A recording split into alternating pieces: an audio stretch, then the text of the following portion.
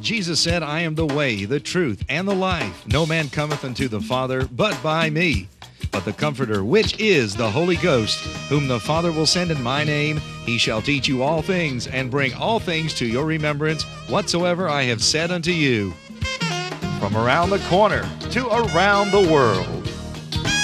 Welcome to Nite Line, a program that cares for you, a program that lifts up the name of Jesus through testimonies, songs of praise, and special programs.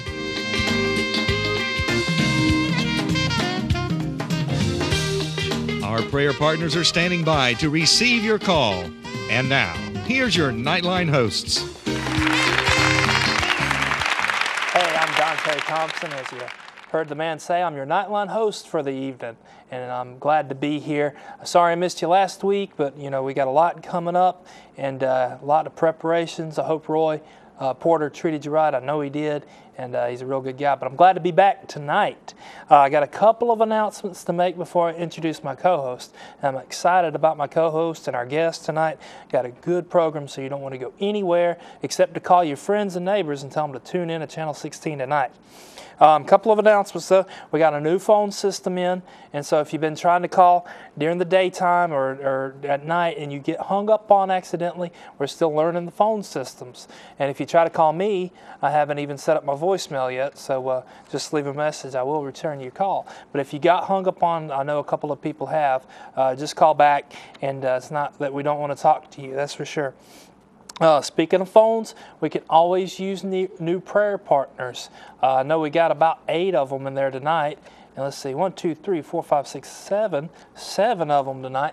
But I spoke to a, a lady today, and her, uh, her and her husband was retired. Her husband was retired from pastoring, and they're looking for a ministry to do. And uh, so that's what, you know, that is a ministry, and it's a good ministry. You will be blessed. I know we got a lady out there tonight. Um, I think this is her second or third week, and she led a 20-year-old boy to the uh, to the Lord the other week. Isn't that something? First salvation she's ever led somebody Amen. to Hallelujah. on the phone back there. So uh, it's a good ministry, and uh, you will be blessed by it. So uh, I got a list of announcements. Just bear with me here. As uh, you remember, we're going to Bulgaria on the 27th of June. That's next Wednesday, and uh, we'll be gone for almost two weeks. Uh, Betty Cornett's already over there. She got there last week. Uh, Betty and Tina, who y'all met uh, a couple weeks ago, and uh, so we're going to spend time over there with the children and uh, try to get some people saved, get some lives changed in Bulgaria. Um, but so far to date, you have helped us send 780 kids to summer camp, and that's something to be proud of. But it's not too late to make our goal of a thousand. So if you want to, you know, go to the phone and uh, make that commitment. Or you know, if a lot of y'all got the bus pass in the mail, uh, just send that back to us. That's what it is. Just clip it off, and I'll get those kids on the bus. And uh, want to mention that uh, July 7th is our prayer vigil, our monthly prayer vigil. And that'll be right here. I'll still be in Bulgaria, so that'll give you something to pray about. uh, that'll be from 10:30 to 4:30 right here at Channel 16 Studios. And uh, if you need any information, there's the number on the screen. Or if you're a, uh, I mentioned to that, the lady I was talking to about coming on and being a prayer partner with us, and I mentioned this ministry to her. Um, you know, her, her husband's a retired pastor. Uh, we'd love to have him or any of you retired pastors or active pastors come out and minister during that six hours. And uh, if you need more information, just call the station and we'll get that to you. One more announcement, I promise. I'm going to introduce our guests and our co host. Um, but I want to welcome back Christy Nodine. She had a baby, Claire Brooks, seven weeks ago, and she's back tonight. And she hasn't had separation anxiety yet of the baby. Um, she has had Heath, her husband, sent her a couple of pictures of the baby. It's a gorgeous baby, and uh, we're all excited for you. Congratulations, Christy.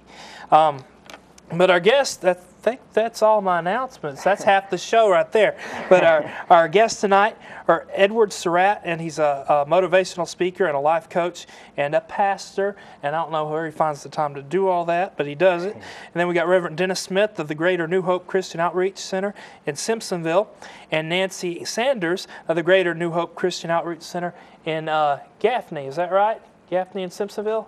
Sounds good. But my uh, co-host tonight, it was on uh, what were you on? Last year, earlier this year? I think close to a year ago now. As a guest, and Yes, uh, you were then Pastor Jeffrey Hicks. Yeah. Now you're Evangelist Jeffrey Yeah, Hicks, yeah. and soon to be Daddy. Yeah, we're very excited about that. September. Congratulations, your wife's seven months pregnant. Seven months pregnant with our first child, a baby boy. So real excited about that. As well, I can't tell you much about boys. I don't have one yet, but I got a little girl due in about five weeks. And uh, I was I was telling your wife earlier, and your, your baby's name was going to be Jonah. Jonah. And uh, I was telling your wife that we got about a list that long for boy names, but we cannot come up with a thing for girl names. So if you have a girl name in mind, call the prayer partners. We need all the help we can get at this point. but uh, uh, Jeffrey, welcome to Nite Line. It's good to Glad be here. Glad to have you excited here. to be here. Excited about the show. Yeah, it's going to be a good show. I mean, we got some great guests, some good music. I didn't mention our music when I had Brandon Yeah. Hart on as our singer. All right. And uh, so uh, he's going to be blessed us, uh, with music.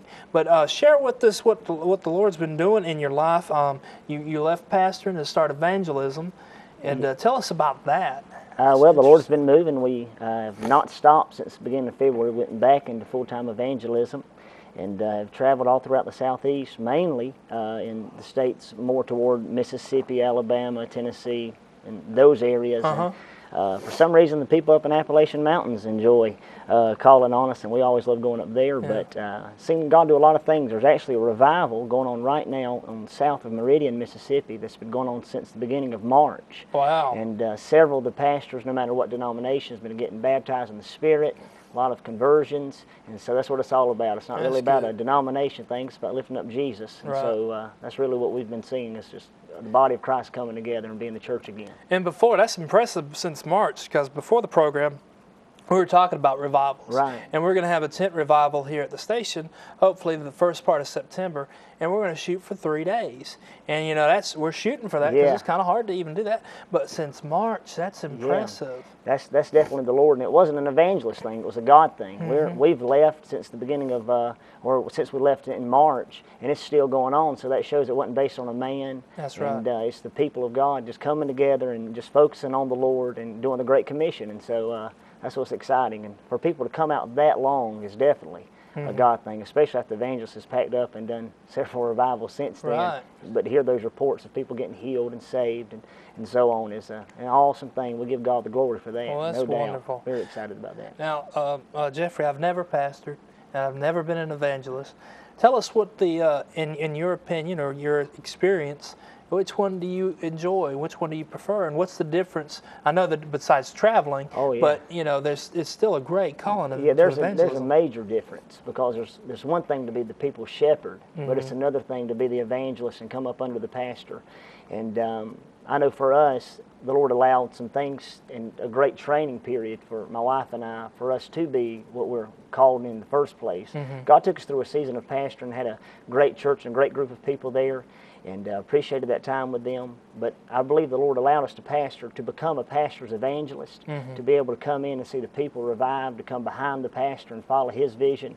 Because, you know, who you going to call at 2 o'clock in the morning? You're not going to call the evangelist. Right. You're going to call the pastor, and that's who the people have got to get behind and follow that shepherd. And so Right. there's just a big difference in those five services you may be with them and those 365 days a year that you're with them. And you're not and carrying them. you And know. for a pastor, it's day or night. I know with my Oh, dad, uh, he had uh, a lady one time about four o'clock in the morning knock on his door, and this is back in the '50s before everybody had a car, and they went into the hospitals every block, you know, like we have now, and uh, she was going into labor, and had he had to take her to the hospital, and so he took my my mother's car. and so he- when, when he came back, you know, my mother said, "Why did you take my car?" You know, and so he, he was clever enough, you know, not to say I didn't want to mess mine up, but he said yours has heat. He's a wise man then, wasn't he? but why don't you share what the uh, scripture is for tonight? It's one of my favorite scriptures. It is a very great scripture. Now, it's Proverbs chapter 3, verses 5 through 7, and we all know it well. Is trust in the Lord with all thine heart, and lean not to your own understanding. and all your ways acknowledge him, and he shall direct our paths. Be not wise in thine own eyes. Fear the Lord, and depart from evil. And that's a, pretty obvious why that's a very uh, familiar passage of scripture because we find great hope and comfort in that, That's right. especially in the time that we're living in. That we it's not about our ability or our wisdom. It's about seeing the Lord for who He is. Isaiah said, "I saw the Lord, and He was high and lifted up." That's right. And His train was filled the temple, and so uh, And and there's great comfort in that tonight. Yeah, you're 25, 26. 26, I'm I'm 26. And but we realize at our young age that no matter how old we get, we're always going to have to trust in the Lord. Amen. There will That's never right. be, and, and I learned that from my father. He died at 82, and he always had to trust in the Lord. He never once could trust in man, Yeah. because man will fail you every time. Amen to. You know, but it's a wonderful scripture. But um, like I said, we got a great uh, show tonight. Oh, yeah. Um, share with us real quick, just something that's on your heart before we go to music. Just anything. Uh, well, I I put you on the spot. Oh, that's all right. there. Uh, there's a reason got to be instant in season, out of season, right? That's it. Uh, well, that's, it goes kind of along with this scripture. I was kind of thinking about this scripture today. Mary said when she was promised that, Messiah, that she would conceive and have a son, and he would be the son of the highest, when she was going to conceive, that miracle conception, the birth Mm-hmm. of Jesus wasn't the miracle, it was the conception. And he said, It'll be the, his name will be called Emmanuel, God is with us. And she answered the, the angel, she said, How shall this be?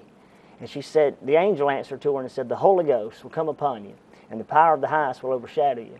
And so I think about this with this scripture because she said, I have no man. So how's this going to happen? Right. And I think our world's living in a time they're scratching their heads saying, How are my bills going to get paid? Mm-hmm. How's my family going to get saved? How are we going to make it through such calamity? And the Lord's saying, The Holy Ghost. Right. It's just not by might, it's not by power, but it's by His Spirit. So if we're saying tonight, How's my family going to get saved? Or how are my kids going to turn around? Or how are my, my bills going to get paid? It's not going to be by our ability. That's we right. acknowledge not our ways, but we acknowledge the Lord, and we understand that the Holy Ghost is going to do a whole lot better job That's right. uh, than, than we could ever do. I, I know nothing personal, um, Jeffrey, but I'd hate to rely on you for, for oh, my no, life. yeah, hallelujah.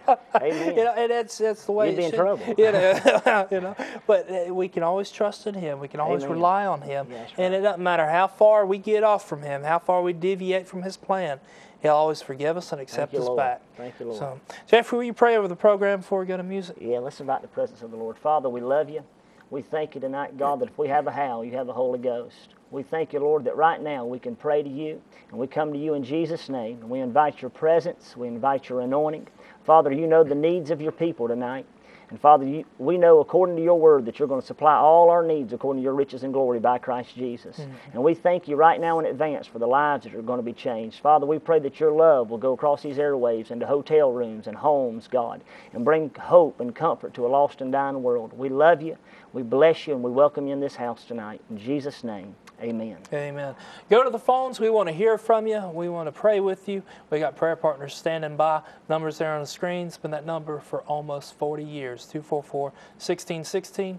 Uh, or you can give us your, uh, your prayer request or um, on, on online now. You can email it. You just go to WGGS16.com. There's a prayer request form, and there's some literature on there you can download and read too.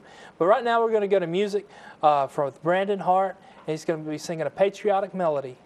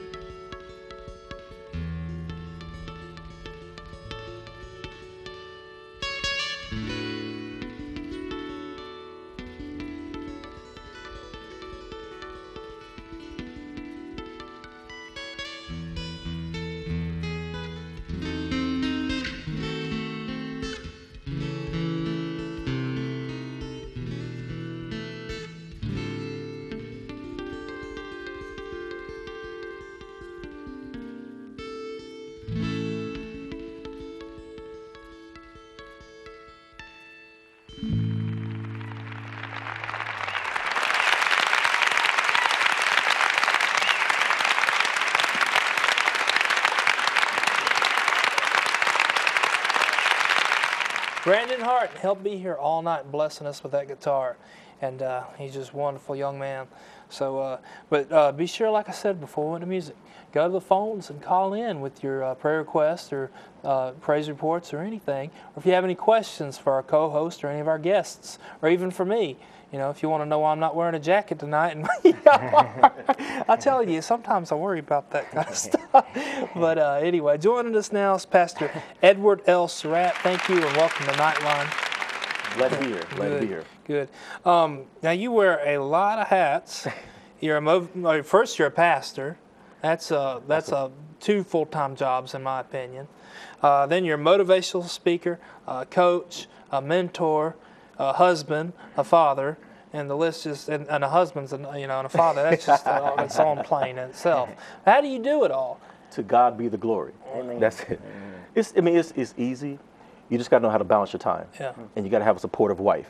And so when you when you're able to balance your time and have a supportive wife, everything else just falls into place. Now it's not that easy, but things do fall into place. But having a wife who's there, uh, who's supporting you and right beside you, that makes things a lot easier. Yeah. So because she understands that every role that I that I that I do, so Right. that's e- a lot easier. My wife understands. She's not always, you know, happy, but she understands, and uh, so it's good. Um, but which came first, pastoring or, Oh, or speaking? Well, you gotta understand there's a difference. Not all pastors are good speakers. Right. Okay, that's a big difference. But I've been speaking. I, I mean, I spoke before. I, yeah, speaking came first because I was speaking in nonprofit schools. I mean, speaking for nonprofits, speaking in schools, different different organizations, and then the call into ministry came later. And so, and then the professional speaking on professional level just happened two years ago. Okay. And so, uh, you know, so it, that, that transition had to happen, but everything falls into place according to how God wants it to do. So, Yeah.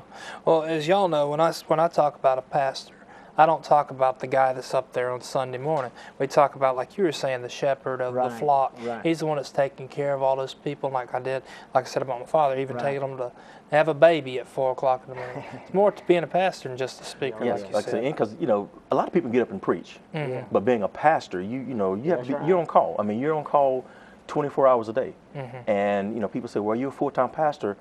Regardless if I have a business or not, I'm still a full-time Yeah, pastor. right. Right. Because if someone needs me at two o'clock in the morning, I'm going to go. If Oh, someone yeah. needs me at two o'clock in the afternoon, I'm going to go. Right. So, and that's that's pastoring, and that's a learned process because you just sir. don't, you know, pastoring is that's that's a hard. Like I said, preaching is easy. Come on, pastoring right. is the Yeah. hard part, and a lot of people don't understand that. Yes, sir. Because like the pastoring is full time. I mean, um, a few weeks ago we had a family reunion, but I had to be somewhere with my church family, pastoring.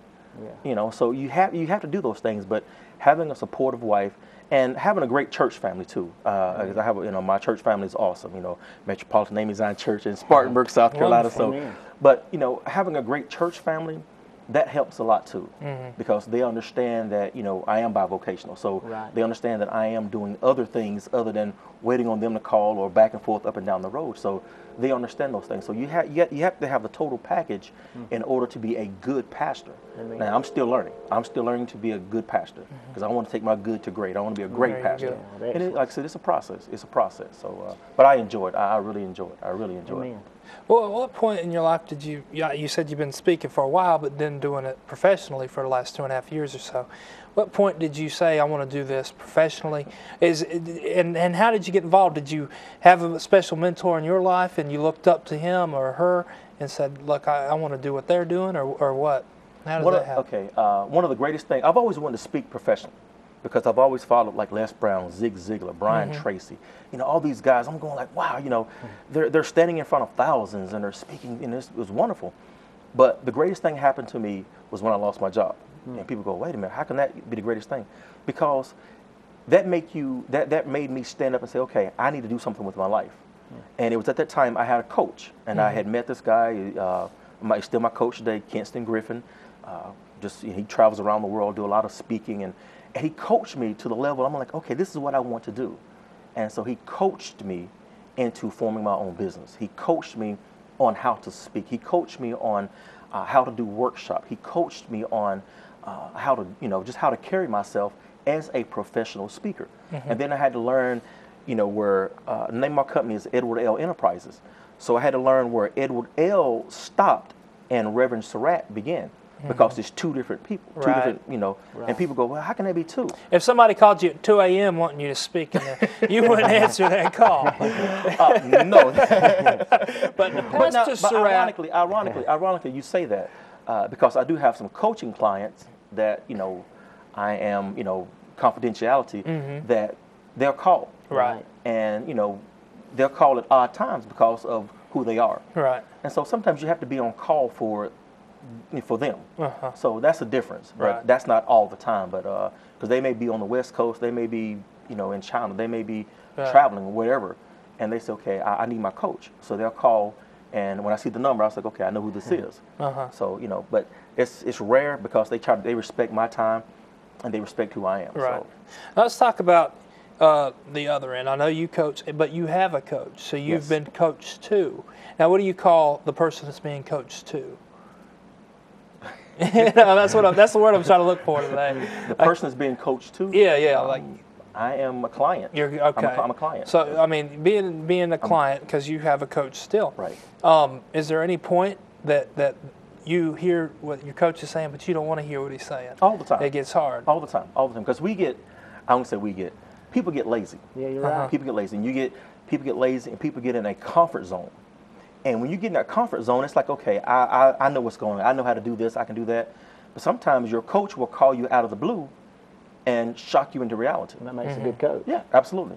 And so even though I am, you know, I'm I'm I'm finished coaching with him, he's still my coach. You know, once a month we'll have a follow-up call. We may be on the phone for an hour, maybe an hour and a half, but once a month we're, we're coaching, or even any someone with this team because I have several coaches. So once a month, sometimes twice a month, we're calling and check on one another. Right. So, but we, it's easy to get complacent, even in pastoring. Uh-huh. You can That's get complacent. You know, you think everybody loves you, and then you wake up one day, and, you know, not everybody loves you. but to God be the glory, I have a great congregation, so I'm like, Well, I know with like you were saying with the ministry here with the station, I know if we're standing still, that's as good as going backwards. absolutely, We've got absolutely. to progress and we've got to further God's kingdom, and we're only doing that by progressing, getting better, getting bigger, and getting our reach out there. And um, you know, like I said, standing still is as good as going backwards. absolutely, absolutely. And, and that's one thing people come to me for coaching. They say, well, I have this idea, and, and, and I have to be careful because coaching is not counseling. Mm-hmm. Okay, it's two different things. Right. Counseling, I'm helping you with a solution and getting, you know, getting better, whatever. But coaching is taking the good and taking the good and getting it to great. Mm-hmm. It's like every athlete. If you think about, I use the analogy of athletics.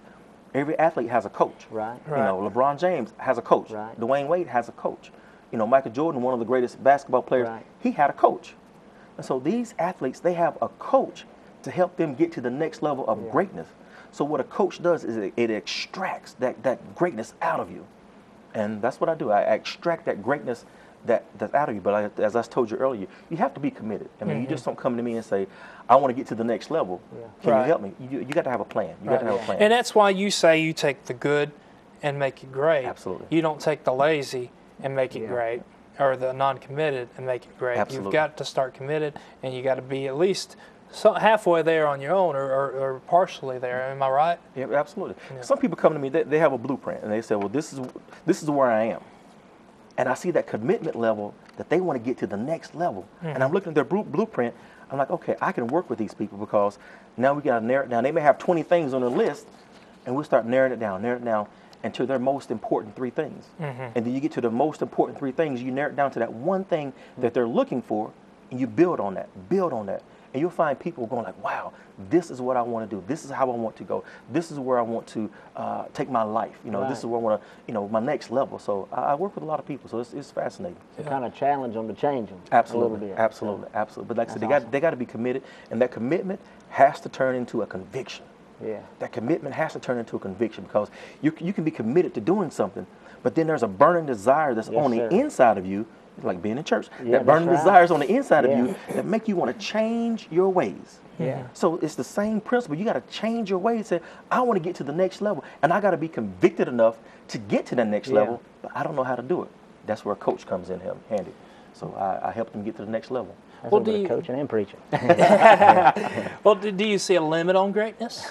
No, You- Will somebody get to a point and No, say, "I'm the best no, I'll ever no, be. I'm going to no. stop here"? there's never a limit on greatness. Never limit on greatness. Yeah. Never limit on greatness. The limit is the limit is within you. You Yeah. can limit yourself. Right. And you know, and I learned um, a hard lesson because one of uh, it was during a revival, and uh, uh, uh, apostle told me he said, "You're committing the greatest sin," and I was going like, "The greatest sin." He was like, "Yes," and the greatest sin was I was limiting God. Uh huh. And when you limit God, that's a sin. Right. Right. Because if you believe what the Bible says and believe what everything says, you know, you never stop. I mean, it, you Yeah, know, he, right. he's a God of abundant blessings. Yeah, that's right. So I want my abundant blessing. Yeah, you yeah. know. Yeah. But some people just get comfortable and this is all they want. You know, Right. and you don't have a need for a coach if you're just in a comfort zone. Well, I've been there, Pastor, because I, I'm comfortable. I think I'm doing the will of God, and then He calls you to do something Oh, yeah. else, Absolutely. and you say, "No, no, I'm doing enough over here. I'm, I'm, I'm doing what I'm supposed to be doing." Right. But then you're miserable. I'll tell you what, and then it eats at you until you finally. And and what you need to learn to do is just not, you know, avoid that situation entirely. And, like, and, and But- Mm-hmm. coaching is not for everyone because you know, like I said, some people are in a comfort zone, Right. and that's you know that's where they want to be. That's fine. You know, that's that's you. But if you're striving to get to the next level, Yeah. you just you can't stop. Mm-hmm. You got to continue, continue to learn, continue to grow, continue to be that which God has called you to be. Right. Well, at what point do you think somebody's ready for a coach, or, or, or for that matter, also let's make this two parts, and then ready to coach? Wow. Someone is ready for a coach when they realize that their dreams aren't becoming reality. Mm-hmm. When you are dreaming and you have goals and you don't know how to make those goals and dreams a reality and you're, you know, hitting a brick wall, so to speak, you need a coach. Yeah. You need a coach. That, that's that's mm-hmm. when a coach steps in, okay, I'm taking your dreams and we're going to take them to the next level. Well, When when somebody seeks out a coach and they're to that level, and uh, what should they be looking for? Should they be prayerful about it, or should they just go out and just open the yellow pages and see Edward L's number in there? Go to my website. Go to my website. Just look at my website. Everything's on there. But you, you said one key word is being prayerful. Uh-huh. And in everything that I do, in everything that I do, prayer is essential. Yeah. I mean, that's that's just a way of life. So, prayer is essential. But you want to look for someone who's who has uh, who's credible, who has uh, been certified as a coach. You know, so I am a certified what we call peak performance coach. You know, life coach, but it's called a certified peak performance coach. So you want to see somebody who's certified, and someone who can produce, you know, uh, people you've worked with, or uh, you you they want you want to make sure they have a business. You don't want not just a business card, but they need to have a business Right. Right. and it has to be a business where let me see your website because I run into a lot of people who are coaches. I'm like, where's your website? Uh, well, uh, well, no, don't, don't, uh, no. So there has to be, you know, it has to be someone who's credible, and it has to be a professional. Okay. It has to be a professional. Like I said, you know, pastoring, counseling is not coaching. Right. Right. Counseling, I can counsel you all day long and try to soothe you, soothe you, but that's not going to help you get to the next level in what coaching would do. Okay. So. And what, what is the difference? And we'll get back to the we know what it takes to be a coach as far as when you're ready to be a coach. But what's the difference between uh, a coach and a mentor? I personally, I have a mentor, and Yeah. if he likes it or not, he's my mentor. I told him that Yeah, too, yeah. and then he's guided me through things, and he's helped me through things, and he helped me see all angles of things, and Right. he's beneficial. But um, but what's the difference between a coach and a mentor? Well, you just said it. Your, your mentor is guiding you, he's helping you. A coach is guiding, helping, but taking you, mm-hmm. Okay. helping you achieve the next level. As I, I mentor kids, I mentor, I mean, I love working with youth. I mentor a lot of young men. I'm helping them along. They can call me. I'm helping them, helping them, helping them. But when it's time for them to get to the next level, Coach Surratt comes out, Edward L comes Yeah. out, Right. and then I'm coaching them because now I'm ta- I'm extracting that greatness out of them. And when you extract that greatness out of them, now they're on a level of reaching success. They're on a level, on a path to achieve success. Yeah. So it's, it's a thin line, but a mentor is, you know, a lot of mentors volunteer. I mean, just keep Right. it real, Uh-huh. you know. But I take coaching seriously because my reputation is built on your success. Right. You know, if I can help you be successful as a whatever business or whatever person you're trying to uh, become, that makes me look good as a coach. Right. But as a mentor, yeah, I'm there for somebody. I'm, you can call me. I'm going to be. I'm coming to the school with you and everything. And there's some there's some coaching involved with that, but it's not as intense. Okay. So Well, I know part of growing and part of getting successful or getting to wherever your goal is and at least for me, is learning my, my failures and Yeah. how to avoid failure in the in the future. If you find somebody that they're they're constantly doing something and you're constantly telling them no and you know the right way to do something, do you at that point after numerous times of saying no, don't do this this way, do you let them fail on their own so they learn, you know, because that, that's a big part of you know I think as far as Wow. growing Do I let them fail on? to a point, not just out of the blue. Yeah, I don't want to, you know, but I, I don't, I don't, I don't, I don't let them fail on their own. But as a coach, because I know they need to learn. You right? know As, as a coach, you show them their mistakes Mm-hmm. because oftentimes people who are failing at what they're trying to achieve, they don't see their mistakes. Right. Right. So as a coach, I true. will point out your mistakes. You know, it's almost like uh, you, you, you hit a home run, and you got to touch every base. If you miss second base and just go to third base, Right. you're not going to score. Right. So as a coach, I have to tell you, excuse me, timeout, Dante, you missed second base. Yeah, Mm-hmm. yeah. If I don't tell you, you're gonna think, okay, well, I done hit a home run, I'm good to go. Right. And just using that analogy, I mean, we know, you know, but but and that's what a coach does. Point out your mistakes, show you your mistakes, and then not only show you your mistakes, but show you why it's a mistake. Mm-hmm. If you don't touch second base, you're out. Your team doesn't score. Right. You may lose the game. You know, all those things that could happen. Mm-hmm. So a coach points out the mistakes, show you why it is a mistake, and then let's go back. Okay, now let's try this again. Now I'm giving you more strength. So the next time you come up to the plate, you hit a grand slam. Okay, you're gonna take your time, but you're gonna hit every base, and by hit by touching every base, you're gonna score the point. Yeah. Yeah. That's a good thought. Real good thought. I'm- We're going to go to music. When we come back, we're going to talk a little bit more about coaching and then um, more about your speaking engagements, what you do, who you'll speak to, what you'll speak on, you know. But um, anyway, you're going to be blessed. We want to stick around to hear the rest of this. But right now, let's go to Brandon Hart, and he's going to be singing Returning Home.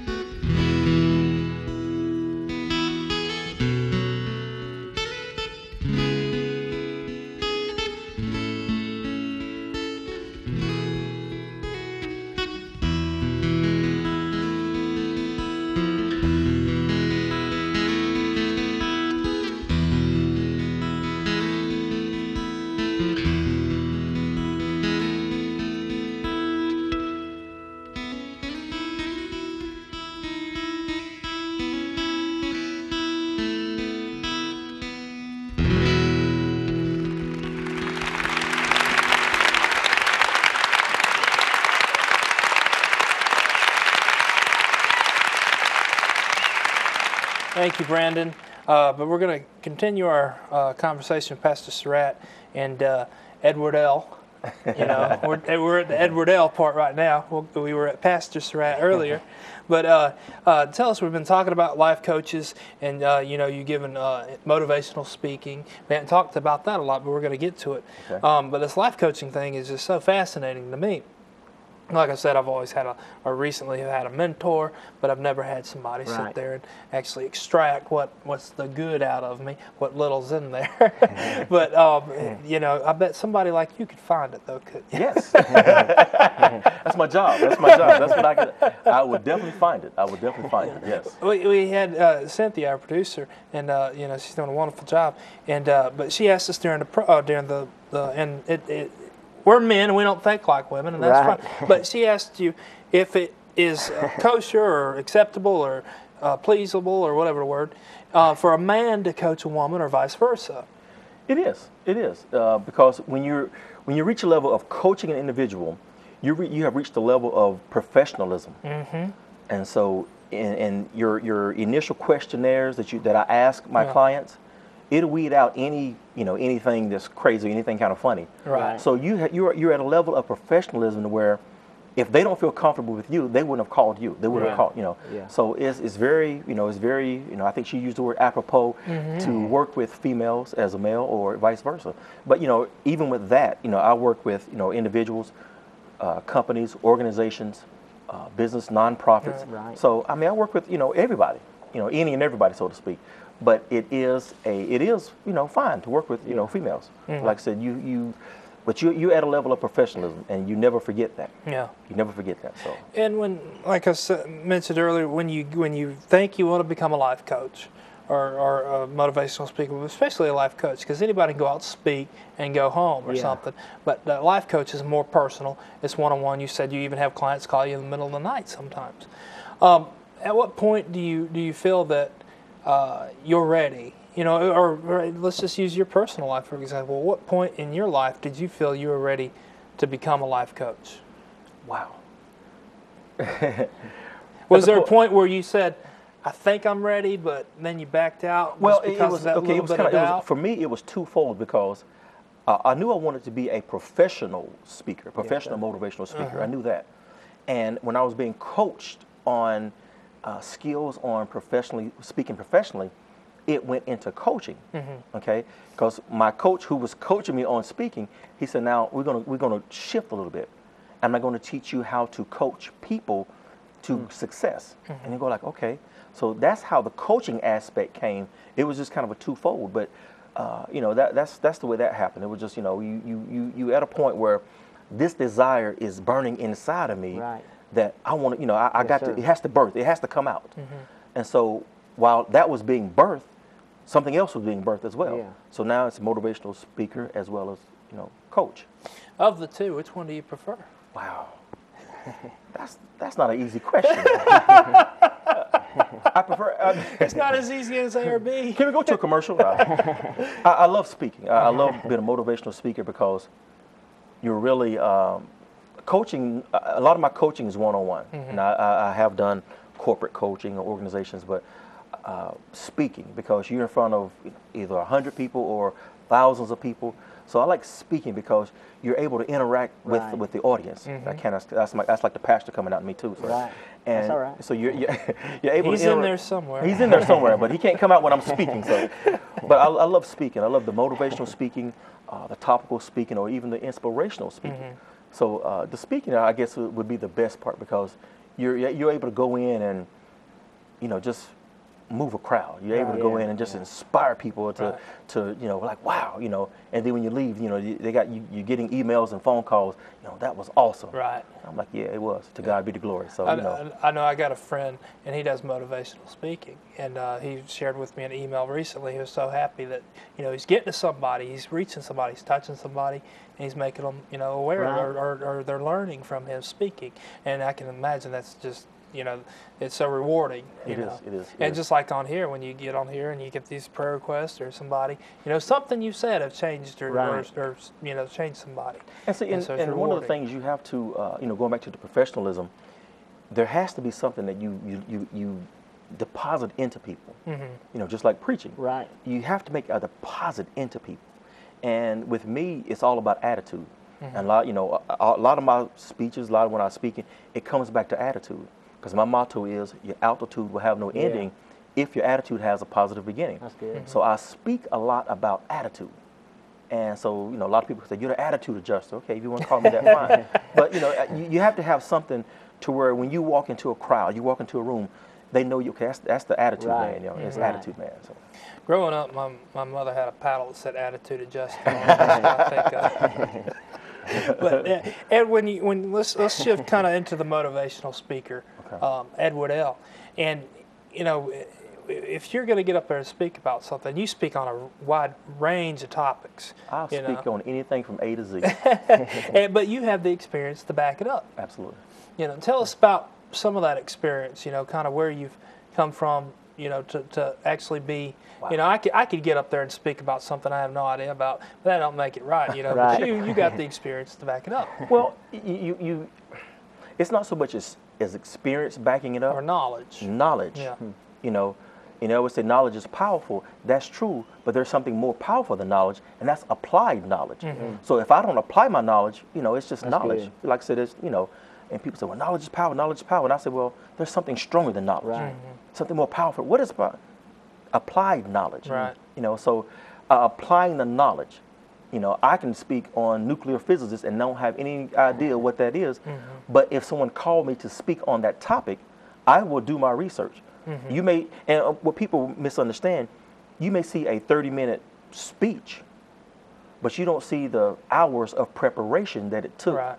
For that 30 minutes. Just Right. like preaching. You Just people like say, well, you, you only preach 20 minutes and they're going to, I'm like, but you don't see what God, you know, how I prepared for that. So, And and just like preaching, and y'all know this. Oh, yeah. Um, it's not. It, it's just words to an audience until the the converse, uh, uh, your your people apply it and Absolutely. apply that and actually you know use that and implement it in their day to day life. and you have to know your audience, and that's that's one of the key factors. You know, you, you have to know when you're when you when I get called to a speaking engagement, Right. I have an outline. I mean, I'll send the whoever you know whoever contact me, I'll send them my sheet. Okay, this is what I need to know. Who am I speaking to? You know, everything. Mm-hmm. So I need to know who my audience is, mm-hmm. because I can't go and speak to an audience of doctors, and I'm speaking on a third grade level Right. and I can't go to a, a high school, Yeah.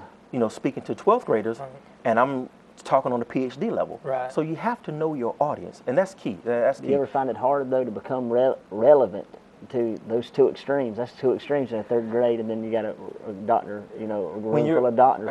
but I know it with preaching, you know, each church has its personality or Right. different culture. And Paul said, "Become all things to all people." And sometimes it is hard. You may preach the same sermon, you know, 1,200 miles away, and God bring that back to you to preach. Right. Is, do you find it hard to, even in motivational speaking, to, to, to do that at times? It's not hard. It's, and, and the reason it's not hard because I get, I've been trained. Right. I say so when, and you you and you find out you'll have. I'm giving a secret away. You'll have five good. You'll have uh, total maybe five speeches, and you can go in and tweak those speeches, and they'll sound different with Uh-huh. each audience. You may have an audience. You may have an audience, and there may be five different audiences, and I can use one speech, and it'll sound like a totally different speech each time. So it's not hard Right. if someone lets me know who the audience is that I'm speaking Right. to. Right. And that now it has been before. Well, they didn't send me the information back, and I'm, you know, you, you how do you prepare? Prayer. Oh, You. Yeah, have to yeah. pray and make sure you are, you know, you're attacking the issues or the points that they want you to attack. So Okay.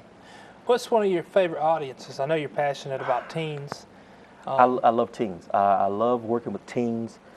I love working with youth, period. But I, I love working with teens because I believe that they do shape our future. They Oh, do shape our tomorrow. They are so if we don't right. reach back and help them or help uh, guide them, you know, what, what is that saying about our tomorrow? Mm-hmm. So I love working with teens on all aspects. I mean, I, I love working with teens.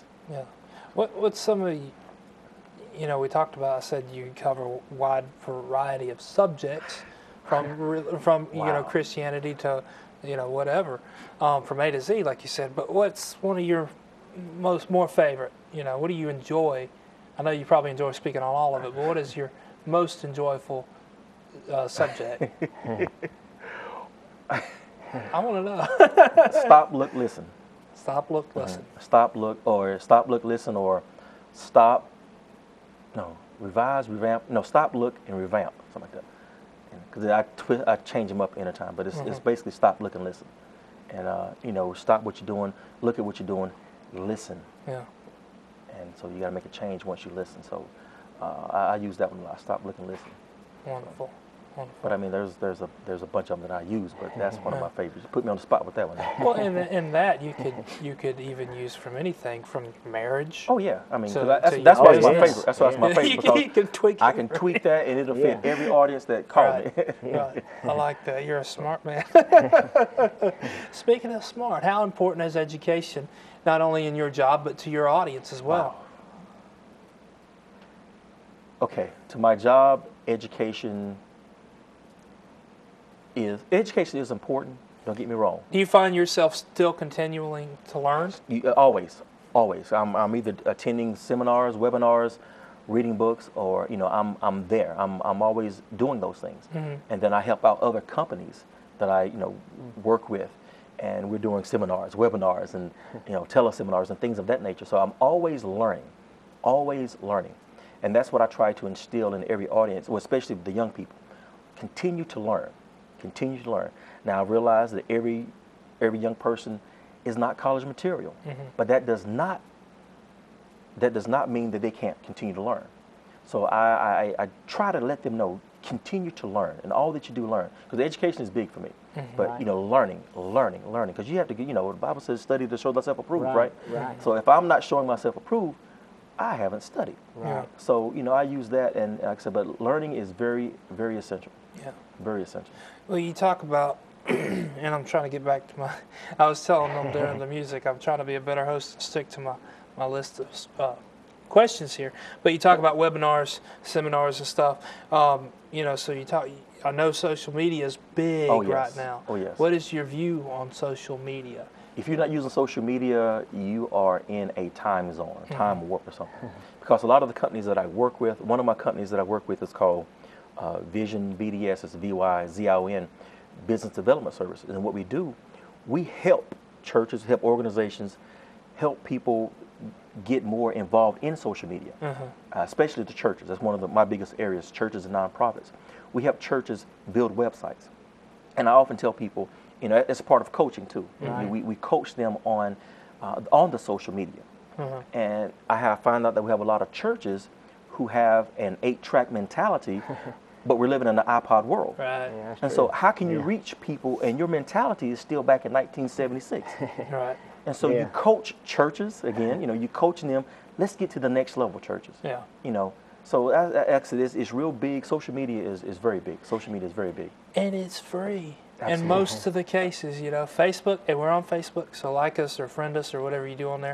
You got Facebook, Twitter, you know, and, and, we're, and we're thinking things. about getting into Twitter, but with a lot of that, you gotta have you gotta be committed to it Yeah. because it's got to be updated almost daily, if not twice or three times a day, because people will lose interest in it. Absolutely. But it is a good thing. Um, the internet is a wonderful thing. Like right now, we're streaming. And anybody, any of your clients worldwide can watch you right now. I, I, I did put it out and there. you should have so- tweeted it. I did put it out there, so hopefully they are watching, and you know I'll have some emails when I when I get through. So I know my family in New Jersey, they they should be watching. So hopefully, Wonderful, wonderful. But So, we uh, just got a few more minutes in this hour, and uh, but I want to come back for just a few minutes after Okay. the second hour. Um, sometimes time just gets away when you're having fun. Um, but uh, um, it's been a great hour, I think. Oh, yeah. But, um, how much time we got? Three minutes. Oh, we have more time than I thought. In television, three minutes is a lot of time. So, uh, um, and now I've lost my thought. Help me out here, somebody. well I know Cynthia was talking about uh, coaching in churches, yes, uh, yes, yes, yes. and that's that's that's a big that's a big one.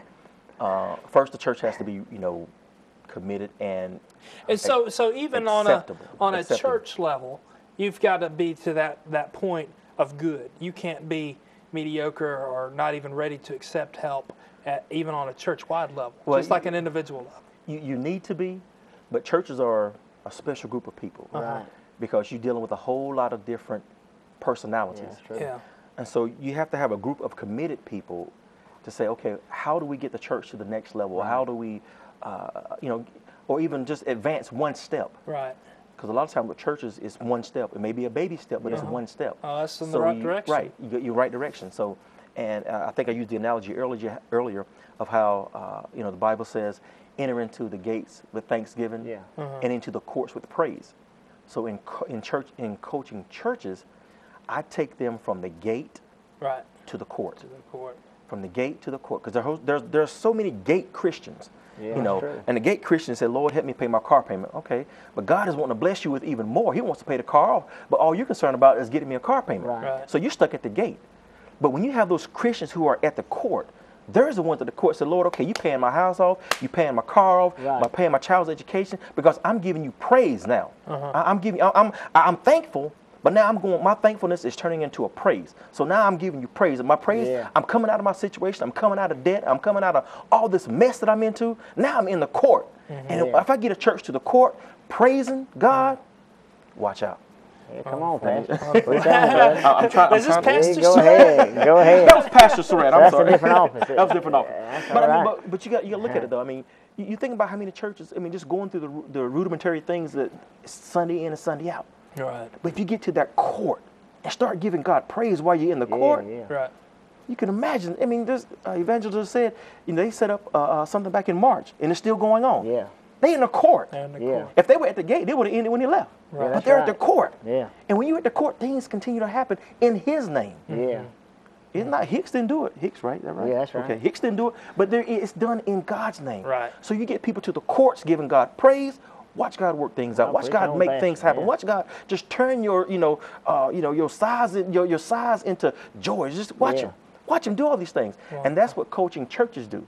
That's what I do with coaching churches. Take them to the court. Well, we're out of time this hour. Sit tight. We're going to be back for a few more minutes after the break. So don't go away. Uh, we'll be right back.